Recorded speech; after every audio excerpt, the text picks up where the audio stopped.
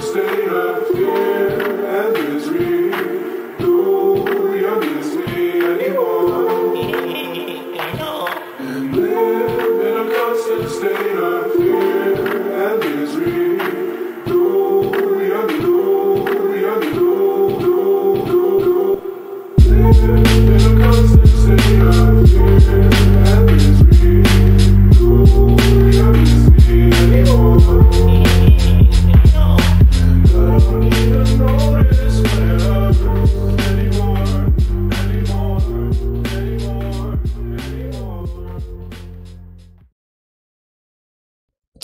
What's up, punks? It's Shinobi, and we're bringing you Block Digest number 208 at block height 614,944 on what day is it? Tuesday, January 28th, 2020.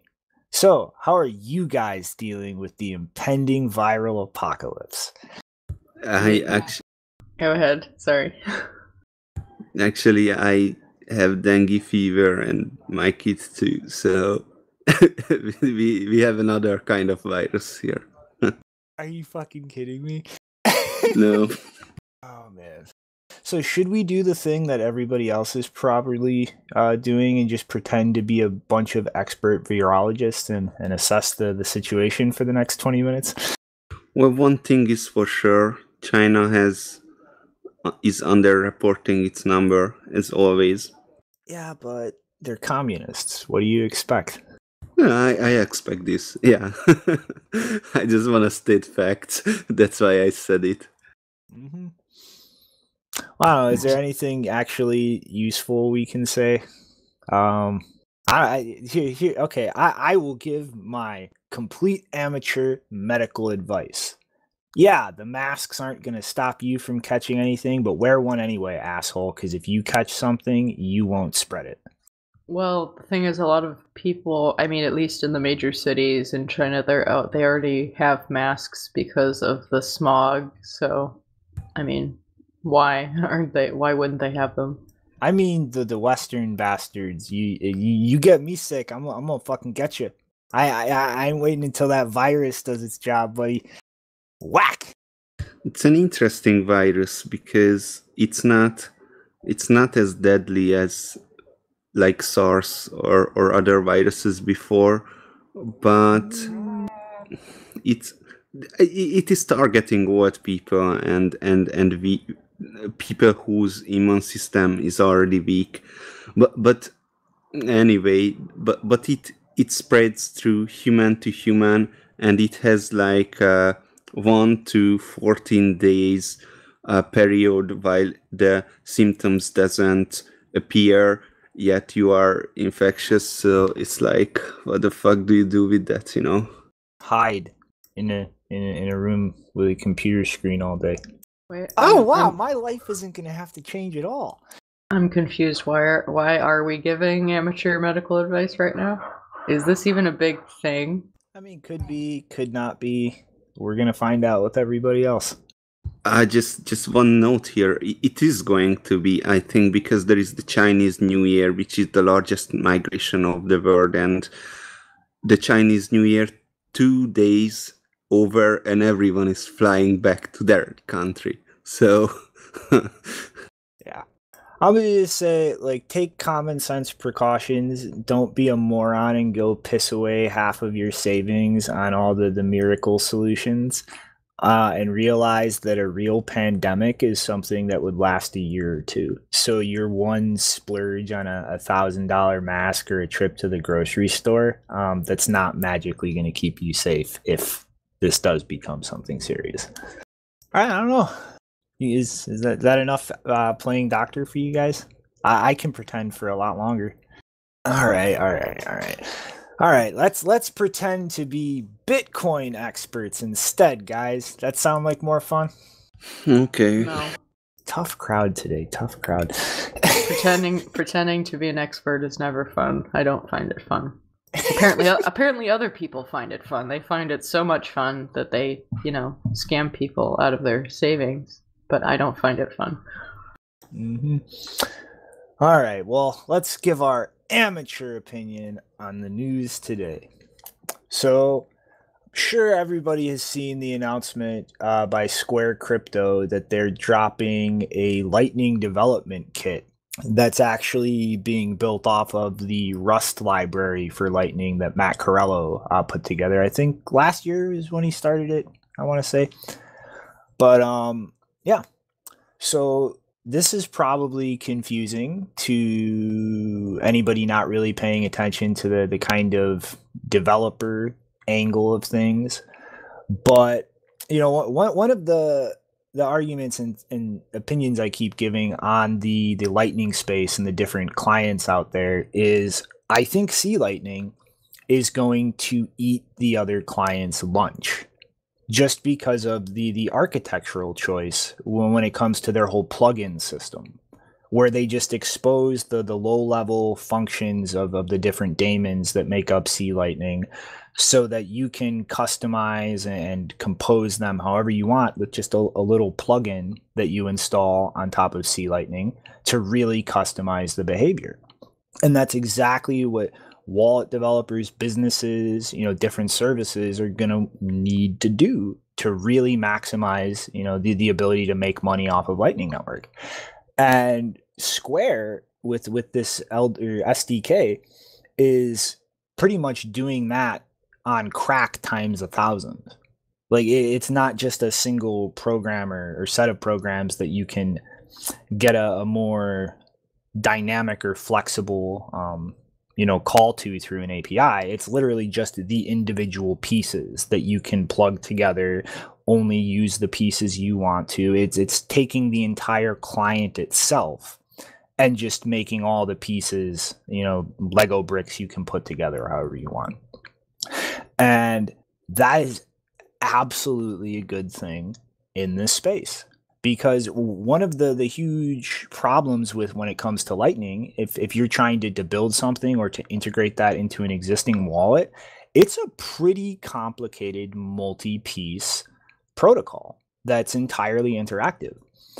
And when, when you have the, the kind of architecture that all of the other um, projects are building, it's it's pretty much just to one degree or another a single piece of software, um, and you just you know use it for what it does or you don't. You know, and C Lightning's a lot more flexible and extendable, but you know the the example um, I think if you if you want to um, really get into Square and Matt's perspective, you should check out the Tales from the Crypt um, he just did with Marty Bent and Matt Odell.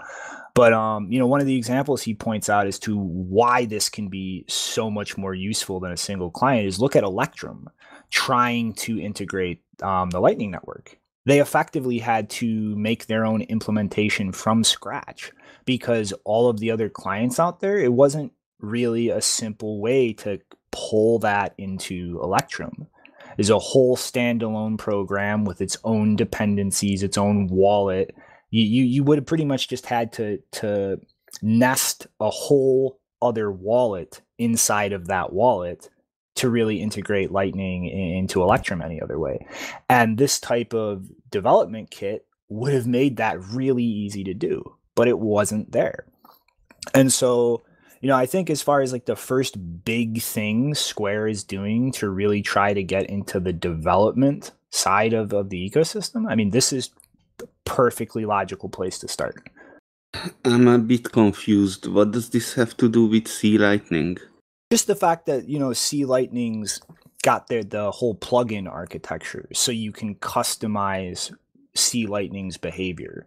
Like you, you don't even need to do that now. You can just only take the pieces of a Lightning client you're going to use and only like roll that into your software. You know what I mean? It's it's making things even more modular and customizable than C Lightning does with their plugins. Mm-hmm, mm-hmm. But uh, Square is not building on that. Isn't Square building on Matt's uh, Rust Lightning library? Yeah, that's what I mean. That's what the whole software development kit is being built out of. And so that's my point is like it's it's going the direction that C Lightning was trying to go, like be flexible and customizable, but way more than even C Lightning is. Mm-hmm, mm-hmm. Yeah, I it's it's something that probably I'm going to use.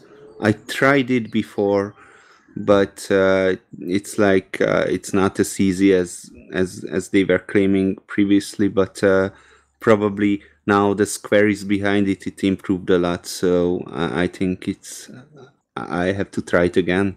hmm You know, I, I I really think a, a lot of the, the things that I thought C Lightning would just eat the lunch for in terms of use cases or uh, projects, I think I think uh, Matt's Rust kit might just sneak in and uh, get past him there. Well, We'll see. We'll see. hmm Yeah, kind of slide along into the next one though. It's actually also related to S- Square proper, not the uh, Square crypto organization.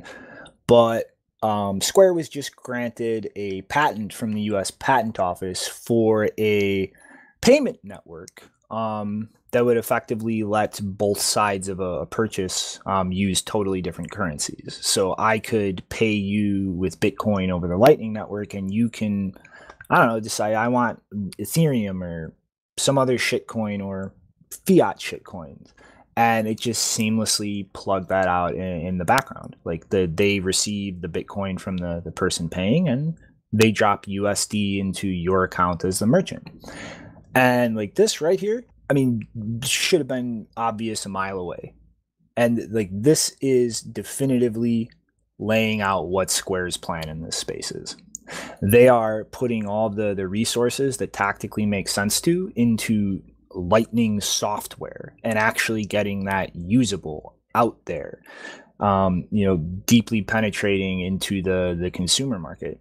And then when Bitcoin's price really starts getting to the point that it's making sense to use as money, boom, they just plug the the payment processor business Square into the edge of the Lightning network, and now zap zap zap zap, everybody can just route their fucking Lightning payments to Square. The merchant can then be credited in fiat directly if they want to. No more tax liabilities or issues. They never touch the Bitcoin to have the potential for gains on it. Receive it directly in Bitcoin themselves to be credited in a custodial account and just pull things out as they want. But like it, it is crystal clear. You plug these two things together and boom. All of the Square merchant customers could just flip a switch and start accepting Lightning. And have all the issues of dealing with a volatile currency like that just magically dealt with. Nobody's gonna nobody's gonna re ah the merchant processor. Why patent it? Well, because as much as it sucks, we live in a world of patents, and if you don't patent things that you could have, um, somebody can come compete against you and do better. Yes, so you are you are intentionally trying to to delay progress. It's like Schnorr signatures. The whole ECDSA magic was created because Schnorr signature Schnorr was patented, you know.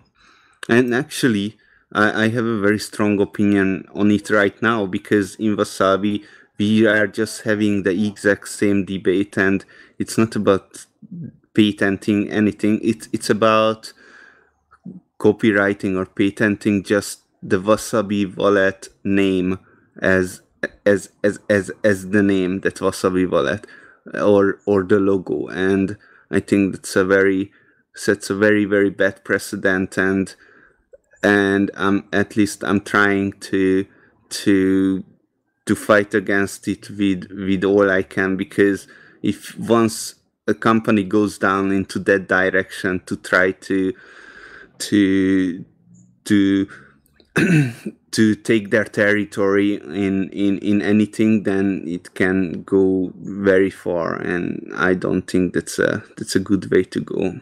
Well, I mean, I don't like patents, dude, and I'm not like I, I'm not a fan of patents. I don't think that's a legitimate thing, but we don't really know how they're going to act with that patent yet. And also, it's like I, I'm mostly just talking about what this company's plans are.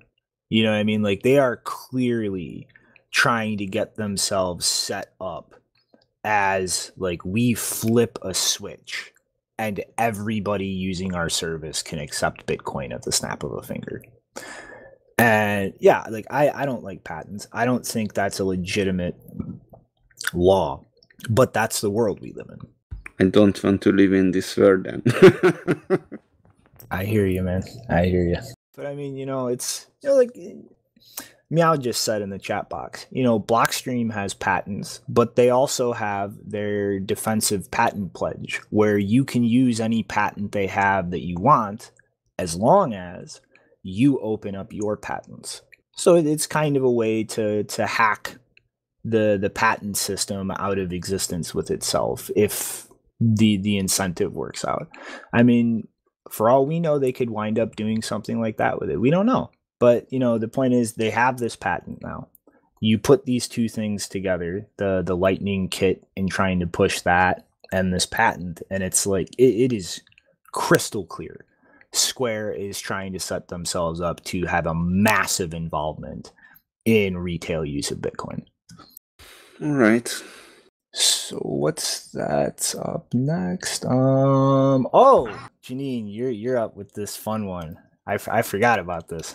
Um, I mean, I don't know if it's necessarily fun as just pathetic and repetitive, and I'm getting tired of this shit kind of stuff. So, um, you, if you've listened to us for a while, you've probably heard us bring up a number of times uh, Digiconomist and how shit it is, um, how shit it has been over the years at um, claiming to estimate how much energy Bitcoin or the Bitcoin network, or more specifically, Bitcoin mining is consuming. Um, and if you want to check that out, we talked about it in episode 136 specifically, and also 143. I think that was the CoinShares report on um, energy usage, and that was a lot more optimistic, um, or rather, it was it was more realistic and uh, the numbers were a lot better and not as dire and apocalyptic as Digiconomist uh, makes it seem. But unfortunately, uh, people from it's a kind of an unfortunate thing that like the Electronic Frontier Foundation, the Freedom of the Press Foundation, even though they have people um, involved in their organization who have benefited from using Bitcoin, they don't they don't make it part of their um, purview to you know spread awareness about it. They're not really interested in it. And as a result, you get people who have really terrible opinions, um, especially about uh, when it comes to energy consumption. So there is a member of the Freedom of the Press Foundation who uh, got some heat. I think this was yesterday. Um, for tweeting, uh, if you work in Bitcoin in 2020, you deserve to have all of your assets seized to pay, pay for climate uh, reparations, which should extend to all historical earnings. Likewise, if you work in fossil fuels, of course. So she's basically saying if you work in Bitcoin, you have as much culpability for climate change as someone working in fossil fuels, and you deserve to have your assets seized. Um, and quoting uh, the quote tweet that she made was uh, someone else uh, linking to Digiconomist about how much electricity usage uh, Bitcoin mining has. Um, so again, just want to reiterate that this is uh, bullshit. Um, you can see uh, that just from the number of replies and, and the content of some of the replies, which actually linked to other research.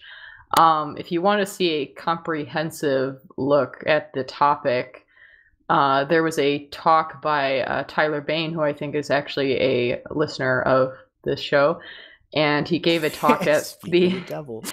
he gave a talk at the blockchain training conference last year and he his talk was about um, proof of work mining energy consumption.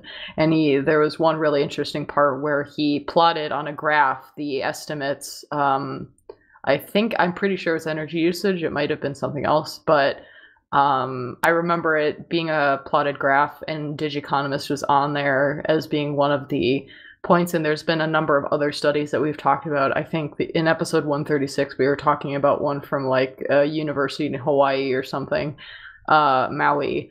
And so all of the estimates like vary a lot, and a lot of them don't really have a good methodology for coming to those estimates, or at least they don't share what the methodology is. Um, and so that was a really interesting graph because it showed not only how different a lot of the estimates were, but how they've changed over time. So if you want to see that, um, his talk was titled Cryptocurrency Proof of Work Mining Energy Consumption. Uh, and then his name, Tyler Bain, is in the title. You can find a video of that on YouTube. Yeah, it's definitely going to be on the uh, the show notes. But um, yeah, like this is not going away. This narrative is not going to die.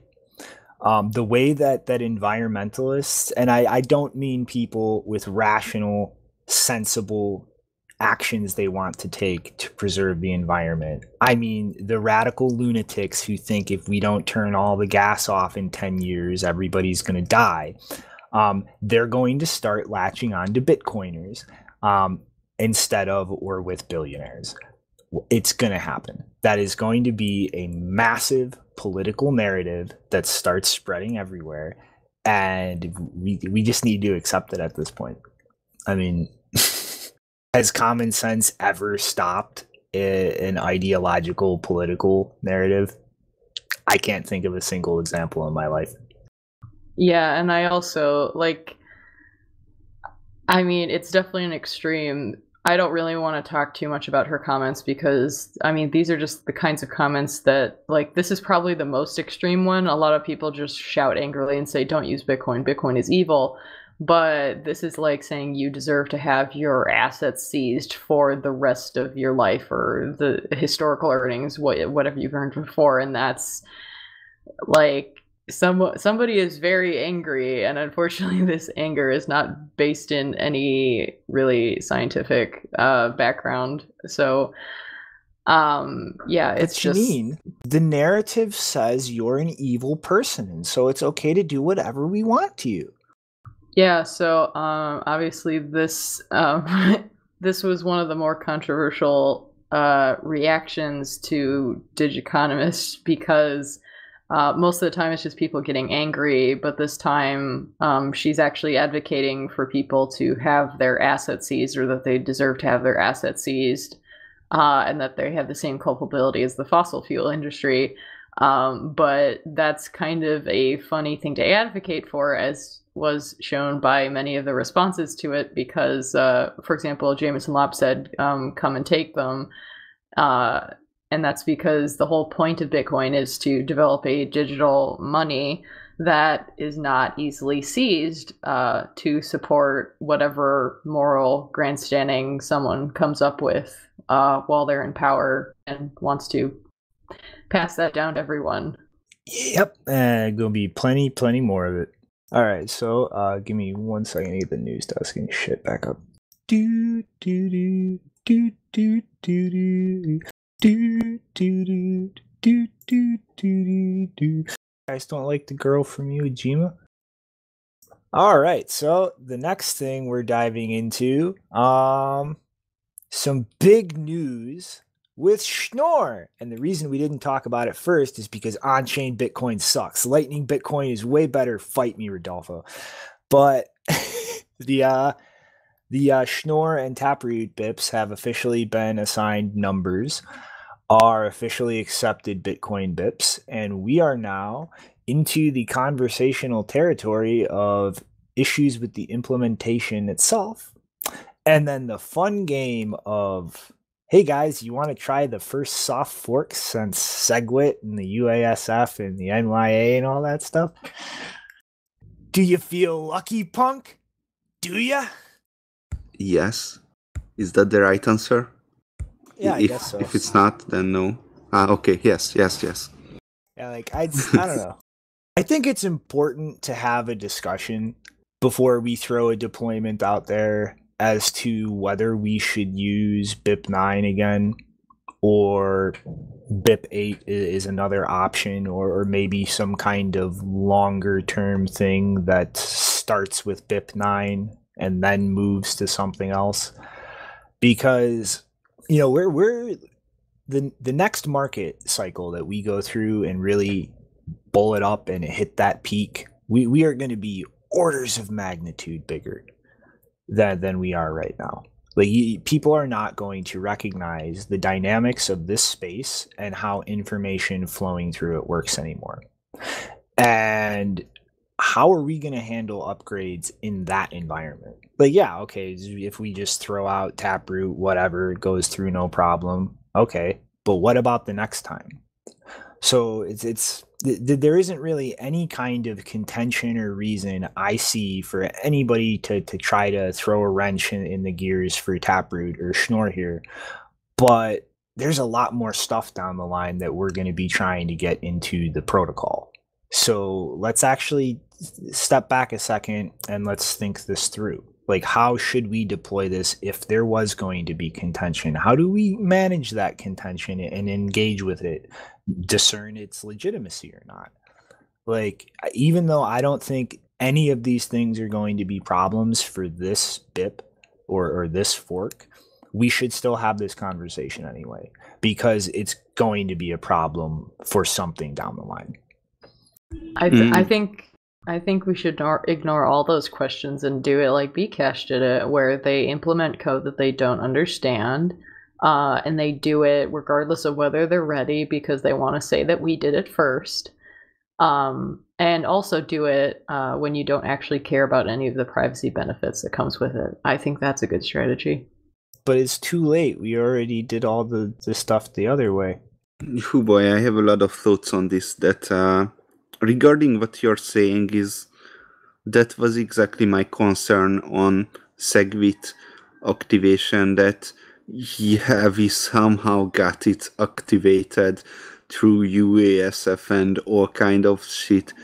Uh, but but uh, it we just did not have a discussion that would set a precedent for future soft forks anyhow my my my little thinking was okay whatever segwit was over politicized sized so hopefully we are not going to get into all this shitstorm again in the future and and whoever wanted to leave already left to bitcoin cash. So so oh, maybe it's not gonna happen anytime soon and that's that's my that, that's yet to be seen right? Uh, as soon as it gets into bitcoin core we will see uh, that's one uh, anything to add to that or can i go on to a related topic? I mean, like my my worry is like, yeah, the UASF was necessary and it worked, but that could have gone way differently and been way messier. And it's like, yeah, that was an important demonstration in Bitcoin's history, but like you're out of your fucking mind if you just think for the rest of eternity, no matter how big we get, that we can just UASF things. Like, no, like people just won't agree on it.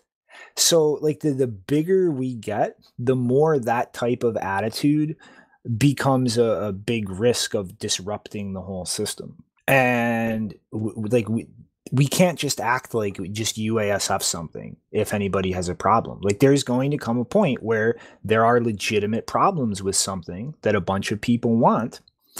And okay, accept that and and stay with Bitcoin or fork off and build something else. And people need to accept that. Like we need to realize that is how the dynamics will play out at scale and we need to start thinking about how do we assess that shit at that type of scale so that we don't just split the whole system because people think oh we can just UASF it or we're not actually seeing some legitimate holdouts or criticism like we need to start thinking about that hmm So le- let's do a reverse sandwich with this. That first we discuss something that worries us, then I will say something that's uh, that's kind of nice and funny, and then discuss something else that worries me. Uh, so let's go to the the next one, which which which I've seen a news article. I, I'm not. I don't remember where. Maybe CoinDesk that uh, that cited me as a as a reviewer or someone who was discussing this this pull request and literally the only contribution I had to this pull request is you know taproot in the code comments taproot was sometimes capitalized T and sometimes it was lowercase t, and I made it made it consistent. but it made the news. Yeah, that's exactly what I mean. And it's like, you know, I'm not trying to fucking shit on you or like downplay you or anything, but because of that article now, a bunch of people are going to look at you and your opinions on things and assume that you dove through that whole code base and like learned all of it and audited it and it, you didn't. You know what I mean? So Mhm, mhm. like, h- how is that going to affect people's attitudes towards things? Like we need to start thinking about that kind of shit. Like I've been quoted by CoinDesk before as a Bitcoin core developer. And it's like how in the holy fuck do you misattribute that? Like in what universe do you get out of any interaction with me that I'm a core developer? I'm not even close. Anyway, uh, this is a good good transition into the next thing, which which I'm going to talk about because oh boy, this pull request. Uh, so on the one hand, I'm very happy that that Bitcoin Core is finally moving. On the other hand, just yesterday I was listening to, uh, uh, not listening. I was actually researching the topic that the, what is the optimal size of the pull re- of a pull request, and the research was very clear about that over 250 maximum 500 lines the developers the reviewers spend just as much time on the pull requests those are very large as the time on the 250 50 500 lines of changes pull requests which means if the pull request very large then it's just not get reviewed because no one can review it properly. And this pull request what Pieter Wuille did is the largest pull request i have ever seen in any github repository so i really hope there is someone who can review it properly i don't know Yeah, but I mean, you know, it's part of it's like we should take our time.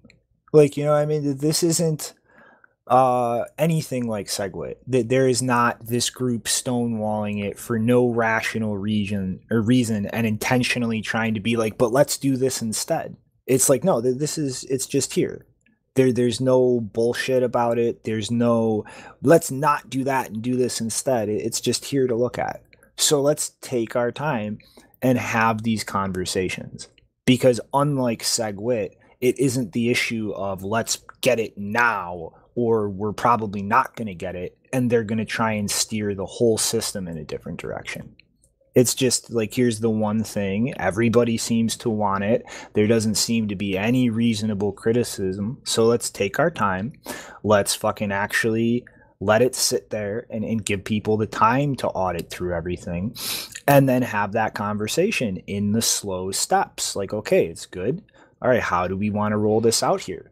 Do we want to make sure now there's no criticisms or arguments against this? Like how do we handle that if they are like we can we can take our time that this isn't the heated make or break situation that segwit was hmm I, I I agree. I, I would just add only one thing to that. What you forget, what might be the most important part, is that capitalized uproot consistently in the code comments. Without that, this pull request is can be dropped. All right, next topic. Oh man. Yeah, so uh this I'm actually surprised, Nopar. I told you about this and you said you didn't even hear about it. But this is actually because of you um that this exists to my understanding.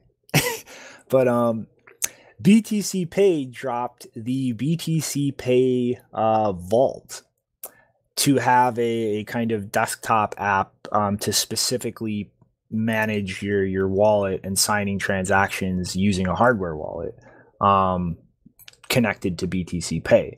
And from my understanding, they pretty much used all of your work um, in C sharp implementing the, the HWI interface in Wasabi for that to actually make this possible. So we have another um option i mean it's like at this point like how many different options are there to use your node with your wallet. There's the btc pay uh, vault now. There's the electrum personal server set up. there's samourai and dojo. There's um what the fuck else am i forgetting? Um ABCore or did no i said wasabi didn't i? No, Electrum, BTC Pay, and Okay, yeah. Samourai Dojo. and, and wasabi. And then there's also the ABCore hookup and um like the the green wallet from blockstream. Like this this is starting to get really fucking nice. Like it, it used to be like hack it together yourself or run this one random obscure thing to to hook your wallet up to your node. And it's like there's six different options right now that are all differing degrees of you can handle this if you don't get confused by a web browser. hmm hmm And even HWI is creating a GUI interface, so you could use uh, HWI in a more more. So for now, with Bitcoin Core, you have to use command line tools if you just want Bitcoin Core and HWI. But uh, HWI creating a user interface, so that will be more convenient. So that's that's that's very nice too. And, and yes, this was my implementation. yes, uh, I implemented HWI for Wasabi. Uh, uh, and and uh, Nicholas took the code and put it into BTC Pay Vault. Uh, yes, that's the that's the story. In, in fact, there is another thing here which um, I'm not quite sure because I, I actually looked at the story and looked at the screenshots. Uh, but I also noticed that Avalonia, which is the library, the UI library that Wasabi is using, is used by BTC Pay Vault. But as I'm looking at the screenshots, they are actually using some kind of web framework to do the GUI. So uh, that's that's confusing. Yeah. Hmm. Did somebody grab the wrong stock photo? Yeah, I mean it's like, you know, this is it's fucking awesome. Like BTC Pay is becoming a goddamn beast. And you know, like you like thank you for actually taking the time to try to fucking get a lot of the stuff you're doing in Wasabi into the actual C sharp library that that you and Nicholas bounce back and forth because like yeah, that's why another project was able to roll this out. Yeah, that's a very interesting library. It's uh, it's very stable, and the code looks like spaghetti, but it works perfectly. So I mean, it's it, that's just the reality on the developer side of things. Is people have the languages they know and they like to work with, and it's not going to be an easy thing to be like go use something else. So having as as many of these libraries maintained in different languages as possible, that's a very good thing for the pace of development in this space. All right, and then next up, this is actually really fucking cool, and like I, I want to see um this this keep moving forward. But uh, 6102 uh, Bitcoin only uh, wrote a, a Bitcoin privacy tool. Uh, he he just realized one day uh, timing analysis. You know, like looking at your your transactions in this address cluster are always happening in this time of day. Is is a way to really start trimming down the the anonymity site you're searching through. And so he built this transaction cast tool um, that just you you pretty much dump the the raw transactions into it, and it just randomizes uh, time and pretty much builds a list with like random time intervals that it broadcasts the transaction at over Tor to uh, Blockstream Info's API. And I've been talking to him a lot about this. Um, right now, he just has it implemented as like just a thing you run yourself. You just manually put the transactions in there. But I think this could make a lot of sense to build out as a a service where it's like, you know, yeah, chiefly, I hope people would run this themselves at home, but you could just set this up and leave this open as a service to just take transactions and just randomize their broadcast time from anywhere. You you could hook your your friends and family up to that. And to go even a step further, um, the the more core developers have been looking into Dandelion, it's looking more and more like it just might not happen because it, it just opens up so many denial of service vector or attack vectors in the mempool logic and just starts getting really complex.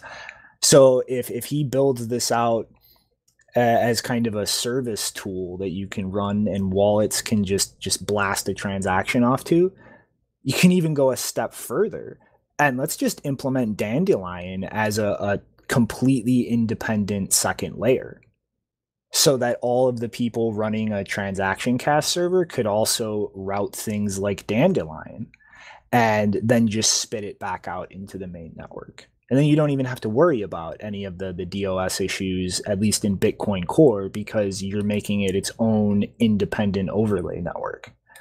And so, like, I can really see this becoming a big tool set.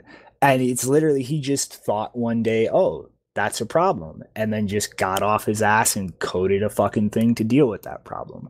And like, yeah, th- there needs to be more of that in this space. Like, people should look at Bitcoin only here and, you know, follow his example. Because there is a lot of fucking shit that can be done in this space that is just super simple, low hanging fruit. Start doing it.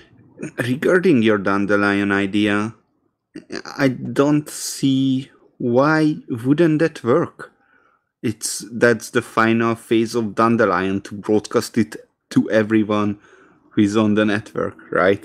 It just it's I'm just a second layer on top of it. So it- I think that makes perfect sense. No, I'm saying it makes perfect sense for like him to incorporate that into transaction cast. But I'm saying like it's looking more and more like it's not gonna make it into Bitcoin core itself, just because it's it's so complicated as far as the mempool logic. Mm-hmm, mm-hmm. I mean, uh, transaction cast is is different from Dandelion, and and they are solving similar problems, but not the same because TX cast wants to completely defeat every kind of time correlation, right?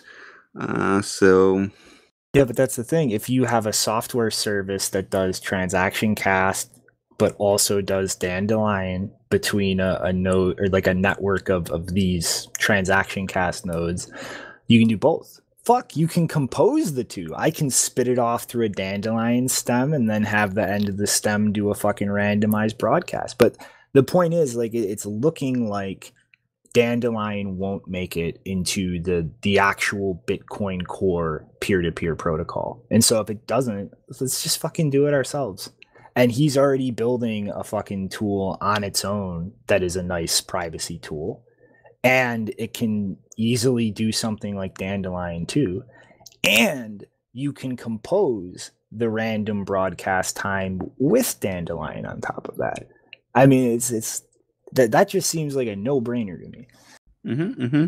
I mean, Dandelion and Tor is pretty much. Uh, I wouldn't want to say replaceable because for Dandelion you still want to use Tor a little bit at least.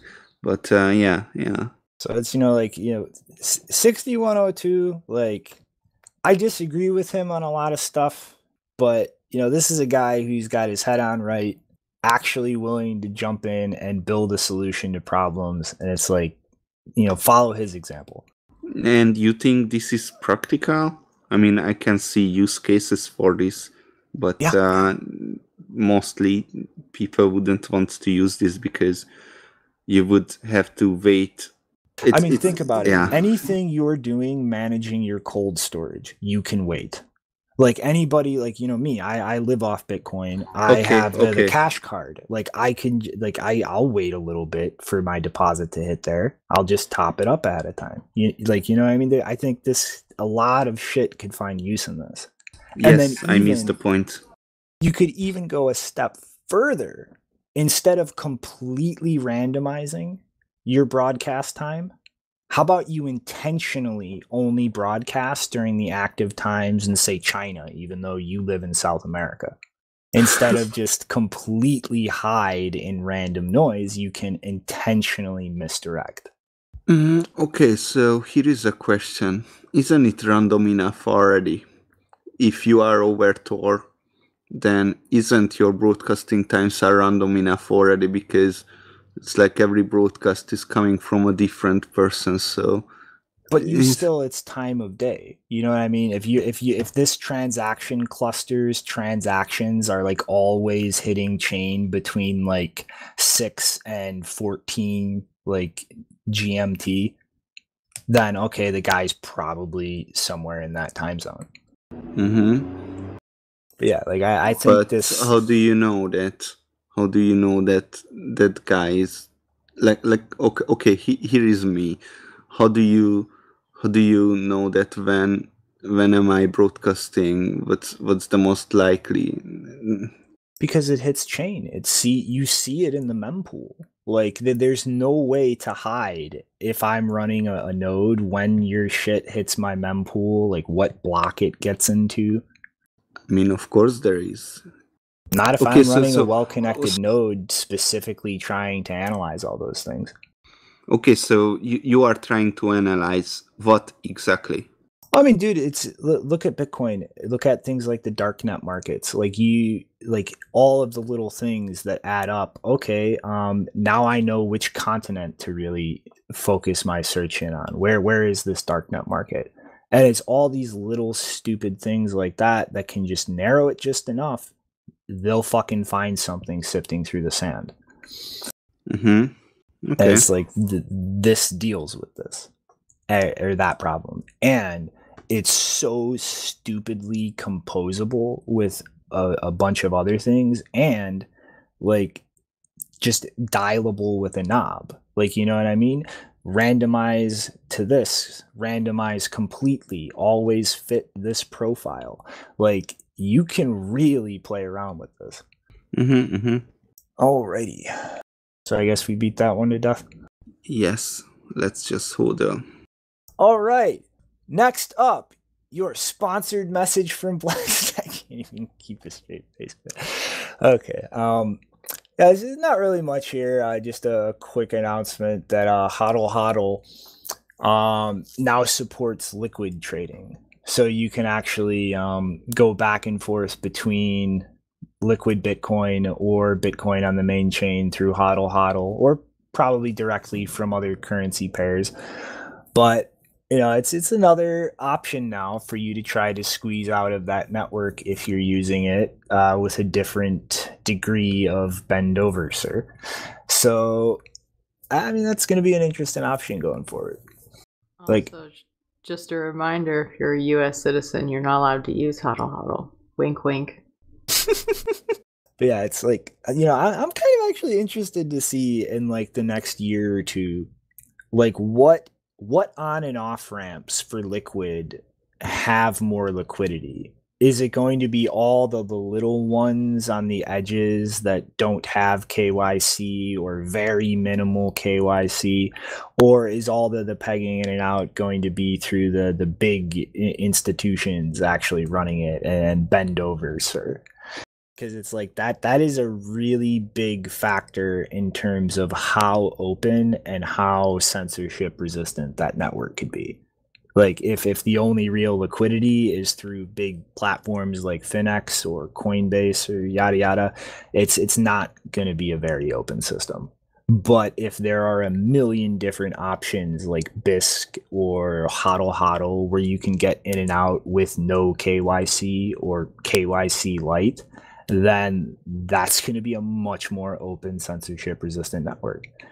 And you know it's, it's really just kind of interesting to think about like it, it's where that liquidity flows is what decides whether or not this this network can actually function a little bit more like an open system versus like a completely closed down walled garden.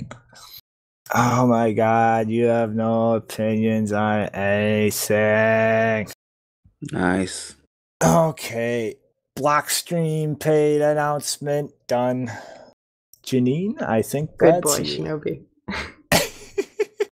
Yeah, so the next uh, story is about what not to do with your money uh, if you're uh, if you have any idea what you're doing. Uh, so basically, there's an article published two days ago in USA Today, ironically, USA two days ago, uh, about yet another cryptocurrency investor who has been the victim of a SIM swap attack uh, related to their Bitcoin. And the article is titled "Bitcoin uh, Banks, Bitcoin, Bond Funds: Where is your money safe in an era of cyber attacks?"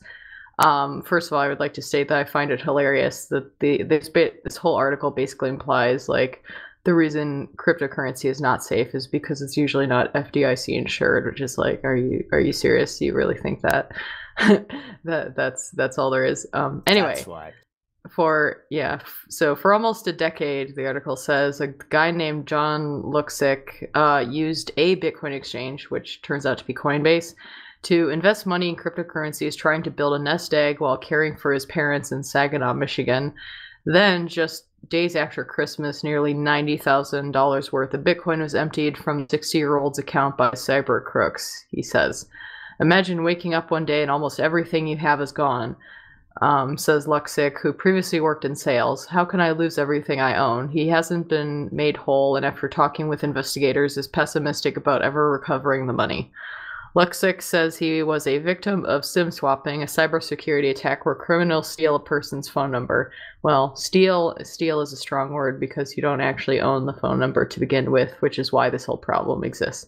Um, Furthermore, he says that he has uh, spoken with an attorney and is I don't know if you can hear the cat right now, but the cat is trying trying to give her input.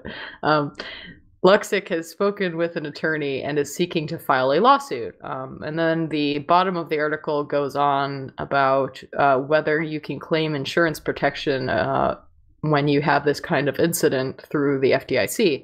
And they say Bitcoin exchanges like Coinbase have insurance that covers loss or theft from a hack on their entire system, but not hacks on individual accounts. Some Coinbase funds that are held as dollars in bank accounts are also insured by the FDIC.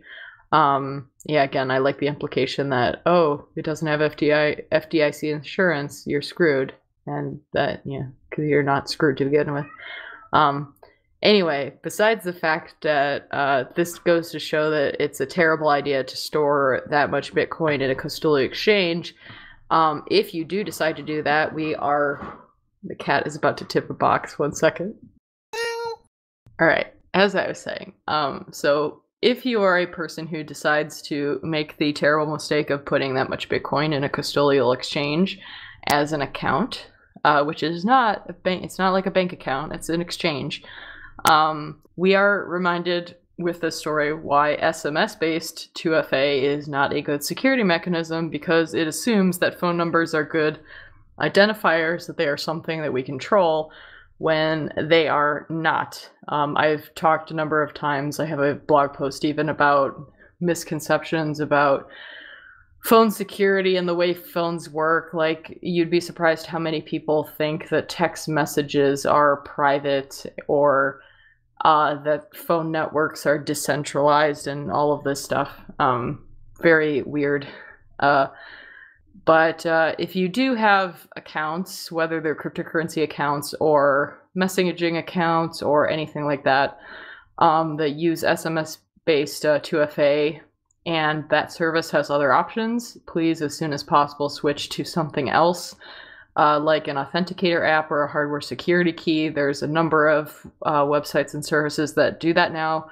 Twitter actually recently, um, I can't remember if they allowed hard. I haven't checked if they allow for hardware security keys, but they do allow, I think, for um, authenticator apps like Google Authenticator and stuff like that, which is better because uh, the fact, like, there's a lot of uh, of accounts, a lot of services that force you to give a phone number, and that puts you at risk of this kind of attack. Even if you're not using the 2FA part, um, they could figure out how to use that to take control of your account, which is what happened to Jack Dorsey.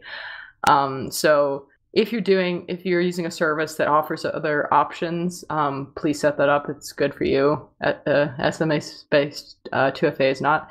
Um, if you're using a service that doesn't give you those options, you should probably consider uh, whether you should continue using that service, especially if it's a cryptocurrency thing, because uh, especially when you don't control their your keys, um, you have to be very aware of the options that they give you in terms of accessing your coins. And if one of those options is I have a phone number and that means that I control this money or I have access to this money, well, there's a lot of other people who could uh, become that person besides you. So don't use that.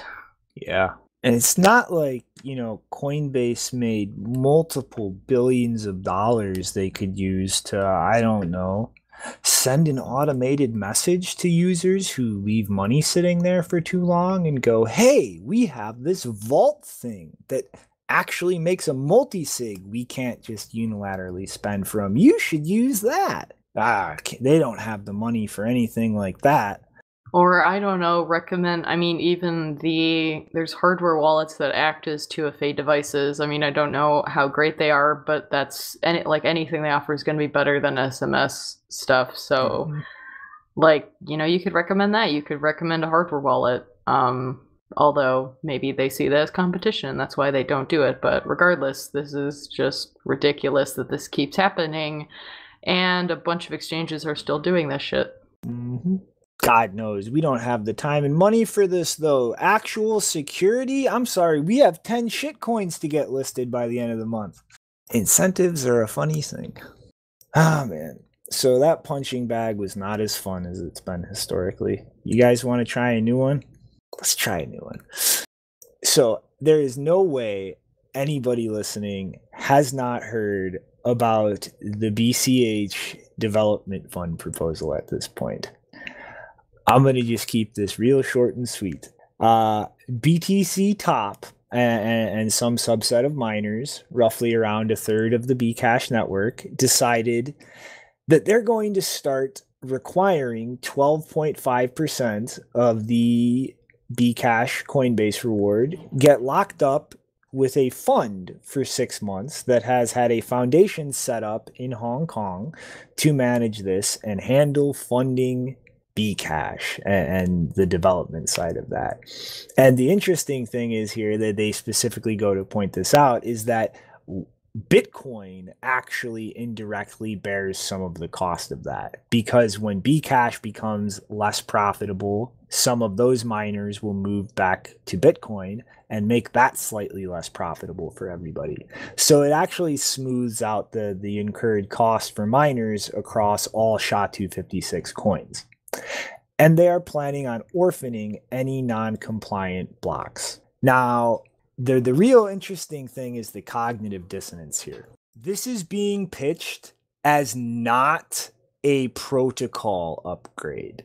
So they're going to orphan blocks because they're going to run special software that that that adds extra restrictive rules and it's not a fucking software change to the protocol guys. It's just an optional thing. We're all donating. Not a soft fork.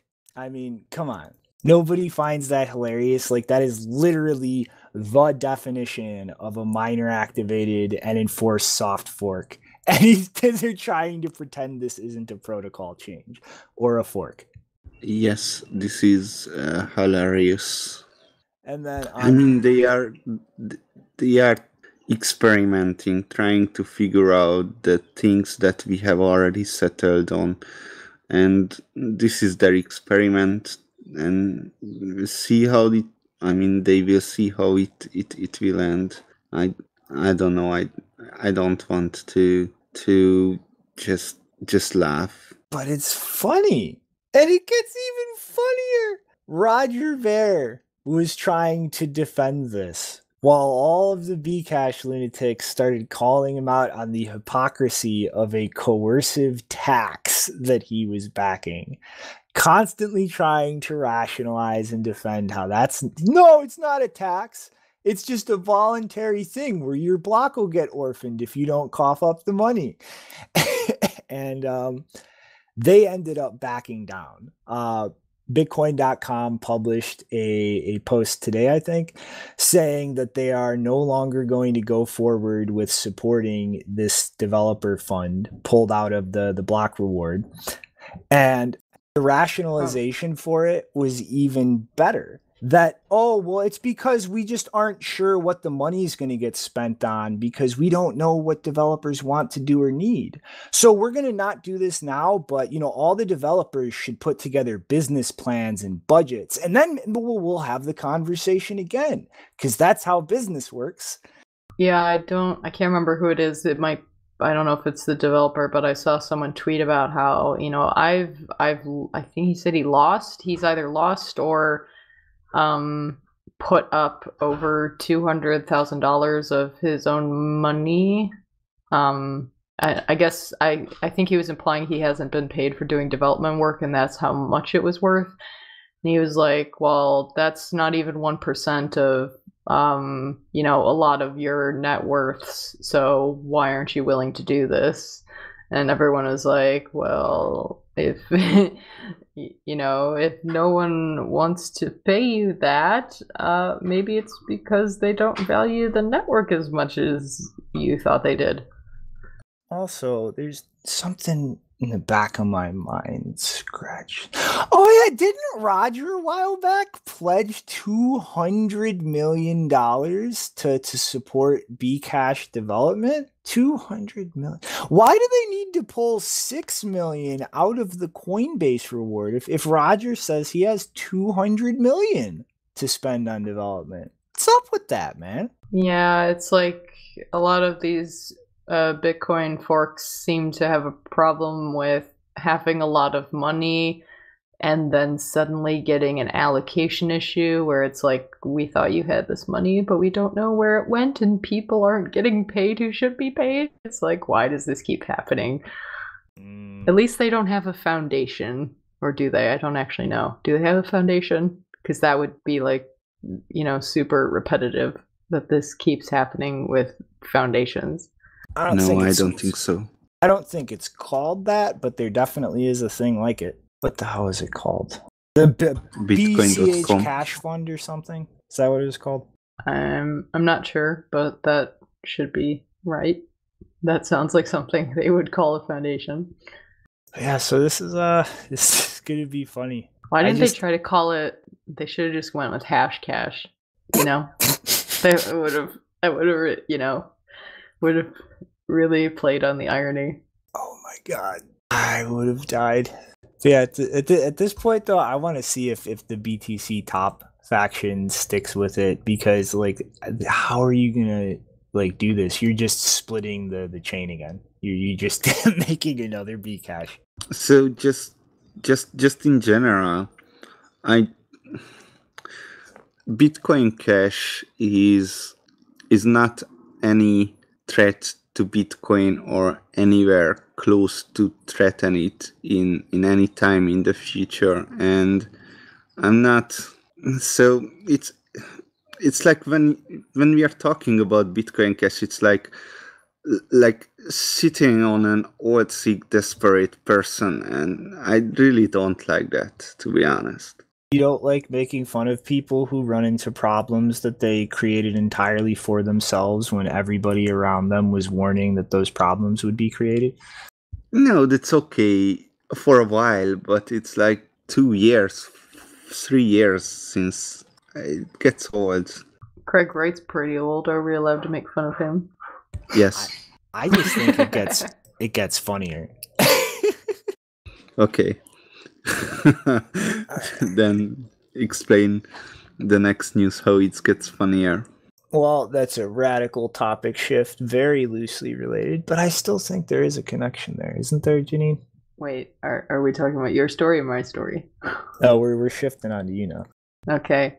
Um, well, this this is actually I I thought we might have covered this, but maybe we missed it. Um, this was news at the end of 2019, where uh, it was it was announced that um, Private Internet Access, uh, which is a VPN company that unfortunately uh, acquired uh, what's his name, Falkvinge, um, another Bcash extraordinaire person Um, the famous what what I I have the image of a chimp in my mind. I care. Oh yeah, he wrote this whole paper about how uh something about monkeys, and we did a whole episode around that joke. But anyway, private internet access not the smartest bunch of people to begin with, um, considering that they added Falkvinge, but they then uh, allowed themselves to be acquired by a company um, called Cape Technologies, or at least that's what it's called now, Cape.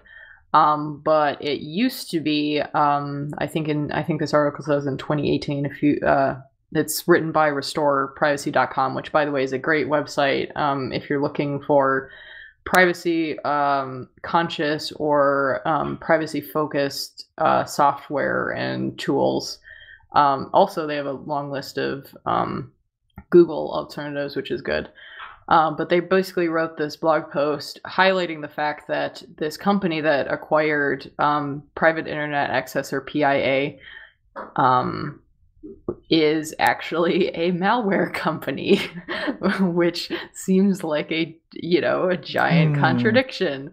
Um, so as they write, uh, if you take a minute to research Crossrider, which is the original name of Cape Technologies, you see that as a company that built a bad reputation from creating malware and adware products. There are many different articles about Crossrider's malware and adware, such as an article from Malwarebytes. Crossrider offers a highly configurable method for its clients to monetize their software. The common method is to infect end users um, through the software bundles. The installers usually resort to browser hijacking. Targeted browsers are Internet Explorer, Firefox, Chrome, and sometimes Opera. Crossrider not only targets Windows machines but Macs as well. Uh, there's a, I think the ins- it's the name of the installer, pup.optional.crossrider installs um, are typically triggered by bundler, uh, bundlers that offer software you might be interested in and combine them with adware or other monetizing methods. Now, why might these two why why might a company that does this kind of shit be interested in VPNs? Well, a lot of VPNs uh, that don't yet have a monetization model, um, a lot of free VPNs, uh, they are they are looking for ways to um, basically find a way to make money without actually being honest and asking for money. Um, or, you know, maybe becoming a paid only thing um, because that's actually sustainable. Uh, but yeah, to have a to have a malware company acquire a VPN, well, to actually they've already acquired another VPN um, prior to this, so this is not their first time. But I, I think, yeah, I think this should be a wake up call to people who still consider VPNs to always be security tools. They're not. When you're looking for a VPN to use, you should give it, you should apply the same due diligence as you would to an internet service provider because that's basically what you're getting. You're getting you're getting a secondary ISP and you know depending on the kinds of um, tooling that they offer, you may be exposing yourself to them in the same way that you would normally be exposed to your ISP in terms of their ability to look at your traffic. So, yeah, I would not be too enthusiastic about um, using a product from a company that its literal business model is to bundle their tools or help other people bundle their tools with stuff that undermines your security rather than help it. So, yeah, if you if you if you are still using private internet access, uh, which I hope you're not, uh, you should probably stop because there is no telling whether they've already implemented this. I haven't I haven't looked to see if anyone has actually checked their software to see if they're trying any of this crap. Um, but there's nothing stopping them from doing it in the future because that is their incentive in their business model, and that's probably why private internet access was interested. Because, as far as I, I think I can't remember if they did. I think they did have a paid version, but I also think that they let you use it for free. I'm not sure. There's a lot of free VPNs out there, and sometimes they become monetized in different ways. So I can't remember, but yeah, this is not a good sign. Don't don't use this shit. Well, what? Aren't the NSA supposed to be like all the big tech experts and stuff? Wouldn't they have like the best VPN service? Yeah, I, I bet they do.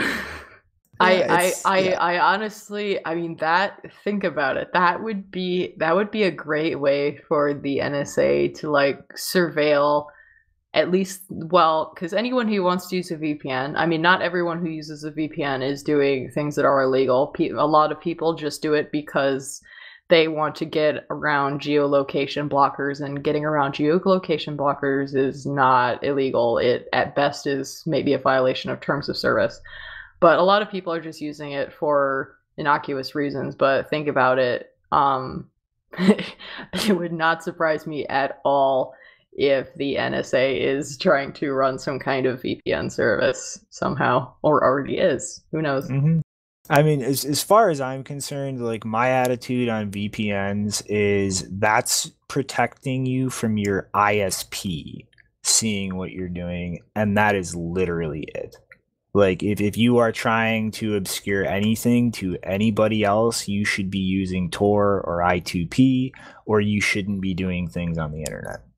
Well, at- so I mean, at best, yeah, it's protecting you maybe from your ISP, and then it's at least hopefully if it's implemented correctly and you're using it correctly, it's not disclosing your IP address and stuff to whatever website you're looking at. But if you're, for example, using a VPN to log into Twitter, obviously they know the, Mhm. uh, Twitter no, Twitter knows who you are. Just because you're using a VPN doesn't mean you're like sec- it doesn't mean it's like secret or something. It just means that they're not getting your IP address. Mhm. Yes, so, so so let's not forget that the their main reason or their use case of VPNs is actually circumventing government censorship. It's like in in Indonesia, I couldn't get on Reddit, although I use Tor, but VPN would have done much better job because it's at least faster, right? Yeah, and I mean that's a that's a useful tool. But I'm just saying, like from the point of view of privacy, like that VPN is maybe helping with the site you're on if it's not account tied or anything, and your ISP, and that's it. Like you you should not be counting on a VPN to protect your privacy from an actually resourceful oppressive government. Like yeah, get content that they are blocking, yeah, but you should not count on that to to just completely hide your identity from them. Oh, obviously, yeah. Anyone does. Anyone thinks otherwise. Oh, dude, that's normies think a VPN is magic, dude. I act it's it's a I actually get really irritated when I see how many like YouTube creators and shit are sponsored by VPNs because it's a Oh, double-edged yeah. sword. Like yeah, it's good that more people use them, but they sell them as like magic. Like it's just a magic shield against everything. And Do that you that's not be the case. more secure on the internet? Use NordVPN. Mhm. Not to mention, There- wasn't there- wasn't Nord the one that was violating their entire terms of service by actually stealing residential bandwidth uh, from users with their clients to use as VPN outpoints? I I I haven't heard that, but the one thing that I did hear about NordVPN is that their um their infrastructure security is questionable. Yeah, that's a joke. Like their reliability is a joke, and they were they were literally just if you installed their app, they were using your IP as an outpoint for other customers' shit. yeah, I, I That's a not bad privacy solution, though. No, I mean if there are peer-to-peer VPNs that work like that, but they did that without telling their users and without clearly going that this is what's going on here. Yeah, it's it's kind of dangerous, right? Because wh- whoever is doing whatever on, uh, yeah, it's very dangerous. I, s- Mhm. I swear to God, ha- like basically half of YouTubers, they're either sponsored by NordVPN, Squarespace, or Skillshare. Mhm. it's Uh-huh. those three. Um, but yeah, so the the joke earlier joking about the NSA, that's actually it's not a complete joke because um, later in the same article, um, they link to a prior Forbes article that um, kind of profiled the the founder. Or wait, is he the founder? Well, I, I think he might be the founder, but um, they they just say he has a majority stake. So the majority stakeholder of Crossrider, which is this the prior name of the company that acquired PIA, is billionaire Teddy Sagi, who um, is an ex-con who was jailed for insider trading in the 1990s. His biggest moneymaker to date is gambling uh, software developer Playtech. Um, he was also oh, there's another guy who's a um, he was a developer at a company called Unit um, 8200. Don't Oh, and they explain further. So 8, Unit 8200, um, yeah, they say what went unnoticed until now is that most of the search, uh, most of the searchable organizations involved in this potentially dangerous business are based in Israel. That also happen to have links to the nation's military and its top signals intelligence agency, the Israeli equivalent of the NSA or GCHQ. Unit 8200, which works out of the Israel Defense Forces. Um, so, not Hmm. not completely off there. The hell are you doing, Udi? Because and and for anyone who says, well, you know, that's a different company. There's no proof that they're like the the way these people work when they have when they have top level connections like that. Just because they move on to a different company, they they're not going to lose those connections. They're going to leverage them or be leveraged by them for pretty much a very long time, if not the rest of their life. So that they could still very well be influencing um, what he's still doing. It's it's not necessarily in the past. Mm-hmm. That is how those worlds work. All right. So, are we ready for a little bit of comic relief in between now and the last story? Big moves are being made in the payment processing side of this ecosystem, folks. Big waves, big moves. XRPP is now supported by BitPay in their own marketing speak, bringing the assets they support to roughly 80% of the total market capitalization for all cryptocurrencies. By the way, SegWit coming soon. And that's going to skyrocket and help grow the entire market for global cross border payments because that's XRPP's entire nonsense narrative.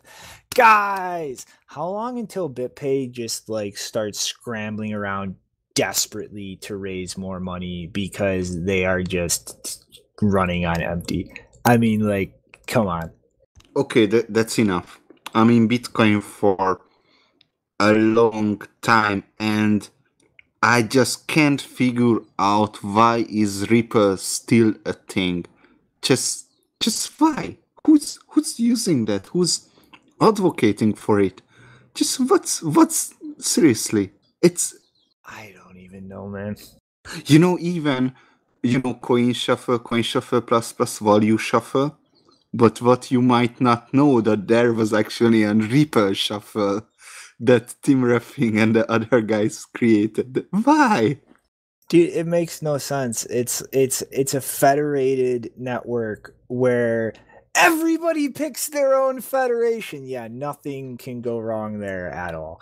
Um but it's, it's I, I mean, dude, it's sock puppets. It's shady twisting of headlines and it's just dumping the endless supply of XRP on suckers. I mean, I'm amazed that they haven't actually had massive enforcement action taken against them by some regulator. Like it blows my mind.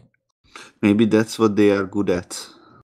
But anyway, um, BitPay adds another pointless dead end shitcoin instead of working on things like integrating SegWit to to you know bring the cost down for the currency that 80% of their payments are looking into lightning now nope we got 10 more shitcoins to add this month guys What is BitPay? Is that some BTCPay fork?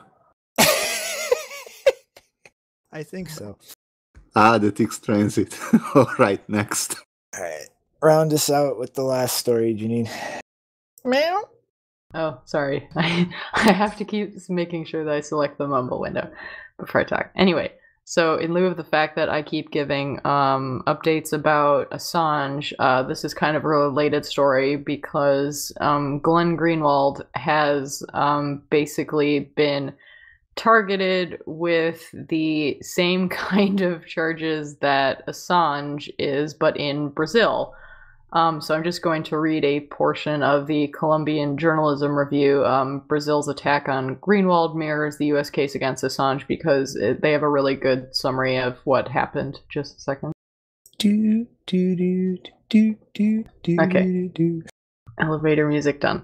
Okay, so um, they write The Intercept has published a number of articles based on um, the leaked messages, stories that raise questions about a corruption investigation involving some of Brazil's most powerful players in both business and politics. As the New York Times describes, the stories question the integrity of the judge who oversaw that investigation, a man named Sergio Moro, who is now Bolsonaro's Minister of Justice.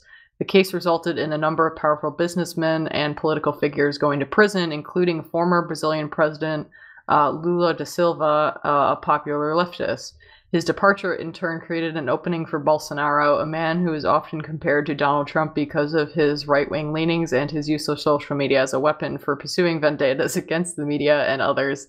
Um, but yeah, Bolsonaro, as an aside, he's quite a he's quite a character, and I swear to God, like if if you if you follow Greenwald uh, at all, you will know exactly how much of an asshole that guy is. But if you don't, uh, just just go back and look through the history. There's there's stuff with uh, peeing and all of yeah, just weird weird shit going on. Um, like not not becoming of a president.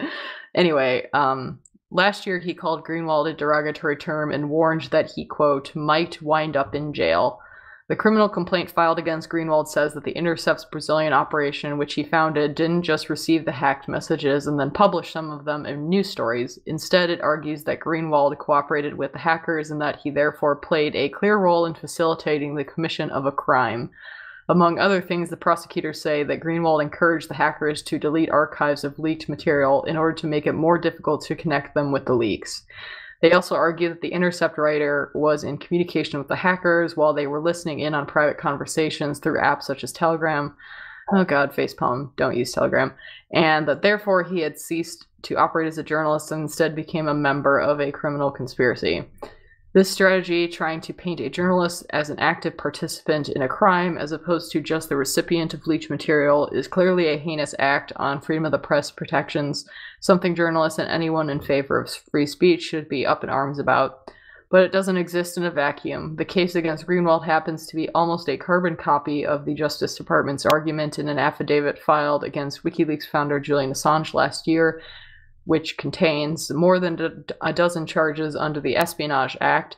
Just like the Brazilian government, the US prosecutors tried to make the case that Assange didn't just receive leaked diplomatic cables and other information from former Army staffer Chelsea Manning, but that he actively participated in the hack and leaks and therefore doesn't deserve the protection of the First Amendment. Which, by the way, um, that last part is very interesting because, um, as it says, the argument that the US prosecutors put forth is that the First Amendment doesn't apply because this is about hacking, this isn't about journalism.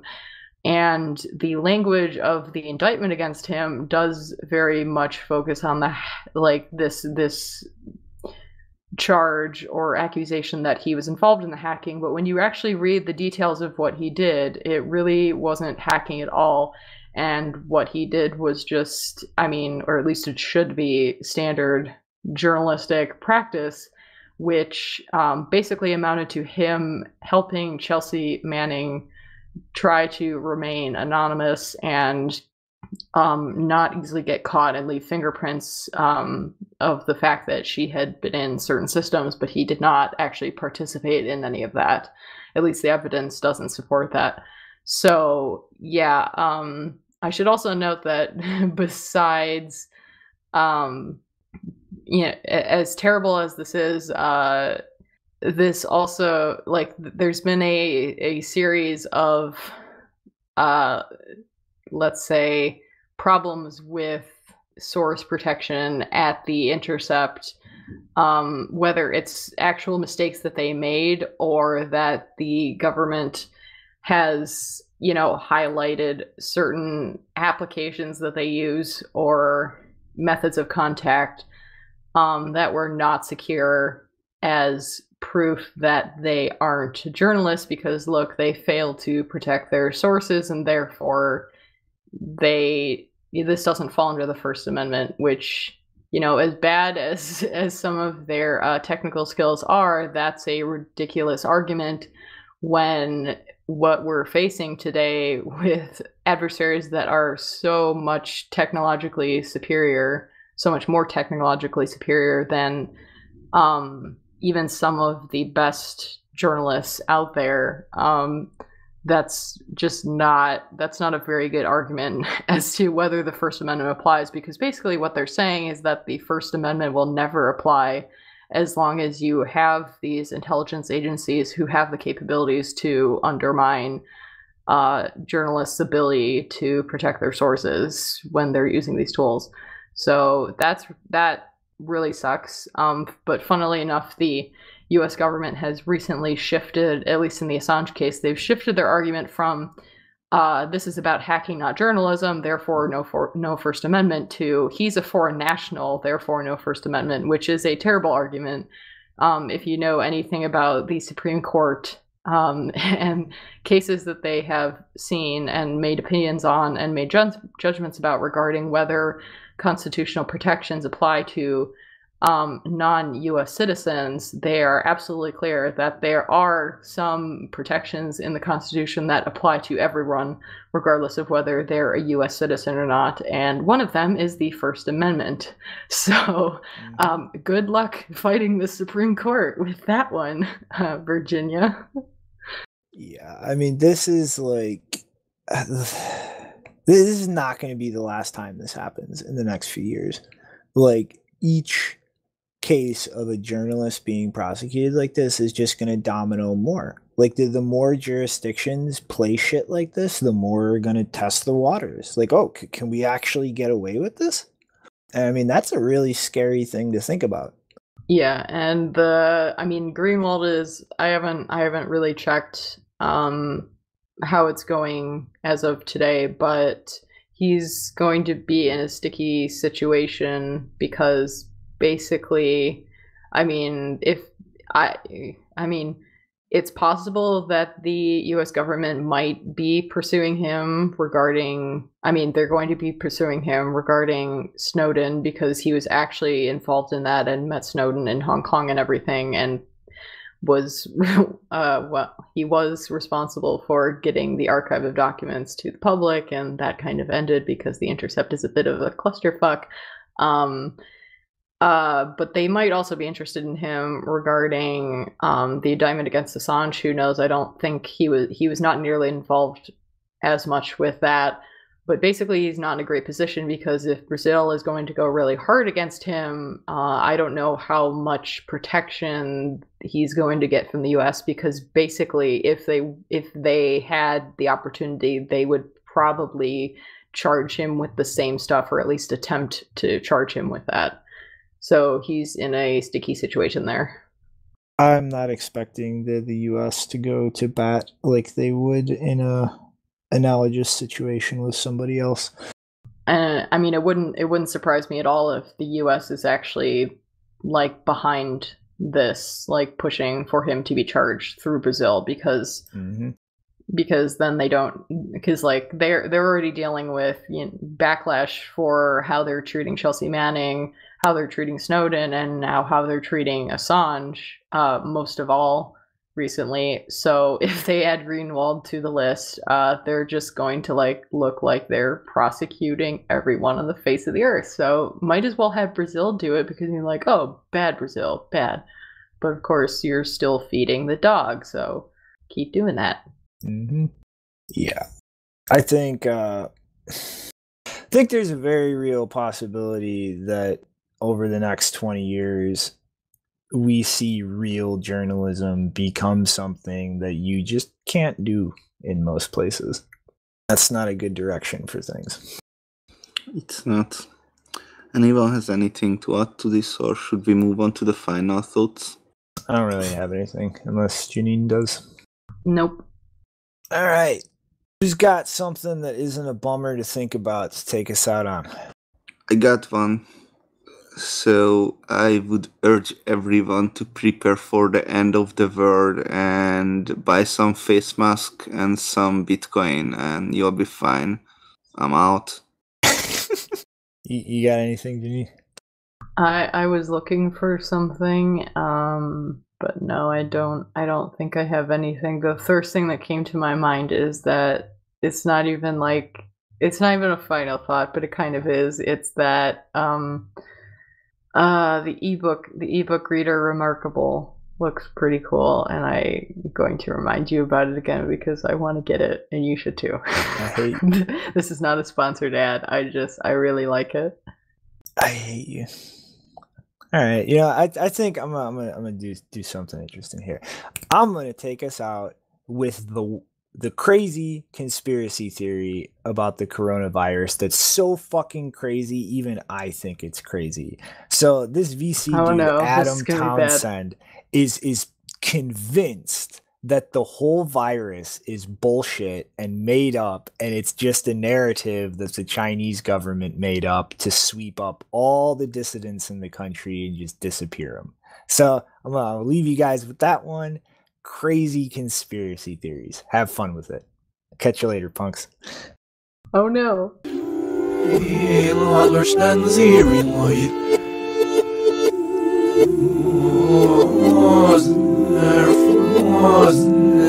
That's ang